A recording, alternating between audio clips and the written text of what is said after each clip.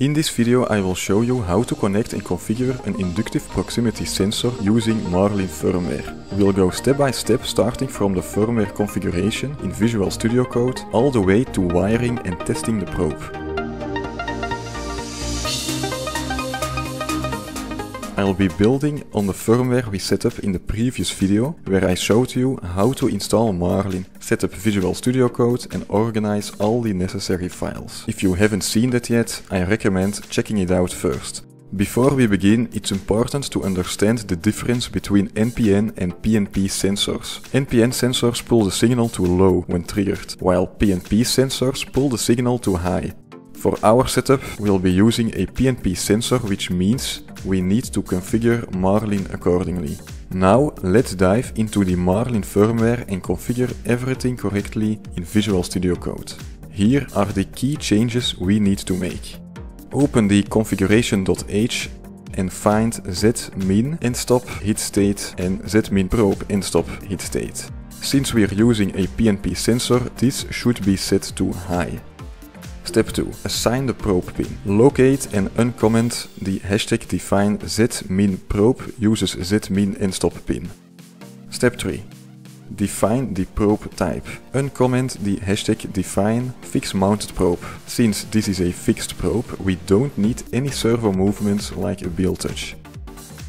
Now I want to edit the nozzle to probe offset for me it's 50 millimeters on the X minus 1 in the Y and for now I set 0 for the Z. But you can also adjust these later in the firmware on the printer itself. Step 5. Enable auto bed leveling. Uncomment hashtag define auto bed leveling bilinear.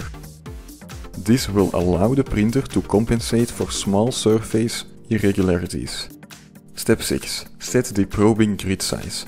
Adjust the number of probing points. Right now it's set to 5, so 25 points in total, but you can change this if needed.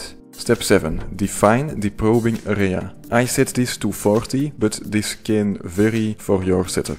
This ensures the probe doesn't go too close to the edges. Step 8. Disable the BLTouch. Make sure this is commented out. Since we're using an inductive probe, we don't want BLTouch settings interfering.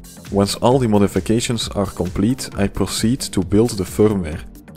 Once the compilation is complete, click on the firmware file link.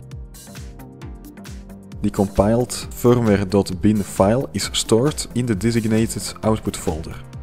Copy the firmware.bin file to an empty microSD card.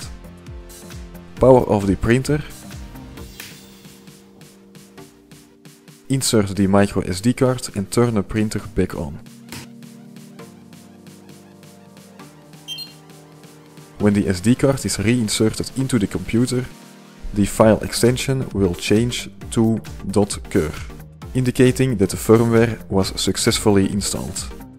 Now that the firmware is set up, let's connect the sensor to the motherboard. Most PNP sensors require three wires, VCC, ground and signal. We'll connect them like this. Finally, add a jumper cap on the board to complete the connection. Go to the printer's terminal and type M119. This checks the end stop status. When the probe is far from metal, it should show open. When near metal, it should show triggered. Now that the probe is working, let's test the auto bed leveling.